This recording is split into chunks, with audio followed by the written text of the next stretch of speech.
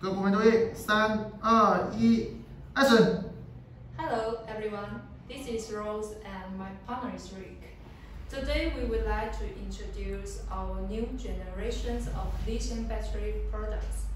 It is a lithium iron phosphate batteries with a voltage rating of 51.2 volt, capacity of 100 ampere hours, and 5.1 kilowatt hours. Many for go-karts. Which go-karts can use it? Rick? Yes, this is our latest lithium battery product designed by Excar. Mm-hmm. It can completely replace the lead acid battery and its driving range is equal to Trojan T-875. This battery is suitable for most golf cars in the market, including Club Car's IQ, Precedent, E-Z-GO's RXV, and Yamaha. Of course, when used in Excar's golf carts, there will be better performance because we have real-time communication between the battery system and the controller. It has a small size, it can be perfectly fit in the existing battery tray. Yes, its overall size is about 20 inches long and 13 inches wide and 10 inches height. Rick, uh, what are the components of the battery? Well, the battery is composed of five parts. The battery box, the BMS box, the battery indicator, and the charger, the mounting bracket. The battery box is punched and welded by metal. There are four mounting points in the bottom and which are fixed by M8 screws. The BMS box is separated from the battery box by injection molding plastic and attached to any side of the battery box. And the battery indicator is a traditional 10 bar LED light. It's just like the traditional acid battery charger. It has the same size, so it will be very easily to install it. Just remove the old one and install the old one, that's it. And the charger, it's a 25 amp intelligent charger. It has 110 to 220 volt AC input. For the bracket, we have many time. We have the Club Car IQ and E-Z-GOs and Precedents. And sure, this is for our Excar charger. Yeah, and why should we call this a smart charger? Because it's also communicate with the BMS and because it is controlled by the BMS and it will be intelligent. And also it got a UL certificate. Oh, oh, I understand. With the charging current of 25 amperes, it should be fully charged in 4 hours. Is that right? Yes, theoretically, but mostly it will be shorter than 4 hours because no one will really drain out of the battery to empty it. Okay, and I also noticed there are quite few ports on the lithium battery packs. Could you explain the functions? Alright, there are 5 terminals on the battery box.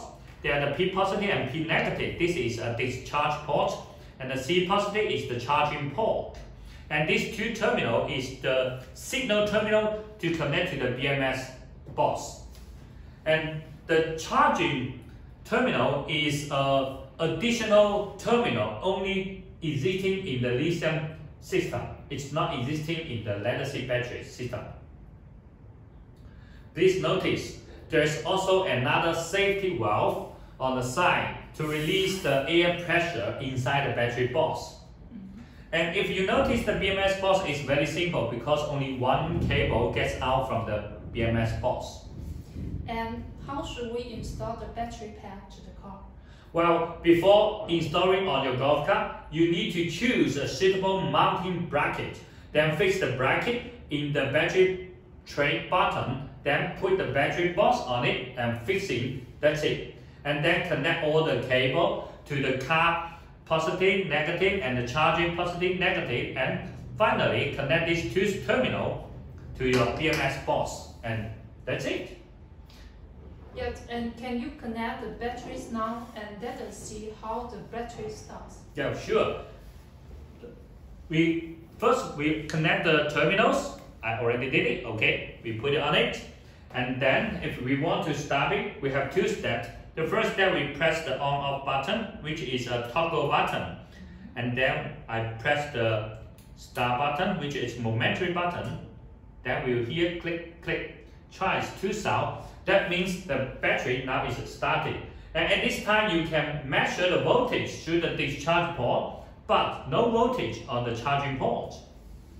But no voltage on charging terminal.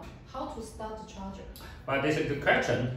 The start signal to start charger is not only from the voltage, it's also from the communication cable. This is small cable. When the charger got the AC power, it will talk to the BMS automatically and the BMS will engage the solenoid to start charging. Now we can try to show you how to start charging, okay? First of all, let me plug in the AC power. Oh, yes. And then I plug in the communication cable. Okay, when I plug in, we hear the sound click click. And also, I plug in the indicator. Now it's charging. That's it. Yeah, but how how can we know the charge already been started or not? Well, sure. When the charger got AC power, the small LED on the charger body will light up. And when charging normally, the LED light will flashing green. And also, at the meantime, if you notice the battery indicator, the indicator is flashing in red. Yes. Oh, keep in mind, no matter whether the battery has been started or not, as long as you plug in the AC power of the charger, the charge process will start automatically. We can try them. If now, now it's charging, if I turn off the on off button, let's see what happened. Nothing, because now the charger already power on the BMS to charge the battery. Well, it's simple rules. Friction means charging, Right, and solid LED means finish. right. And so this is different from the lead acid batteries indicator, which only reset when full charge.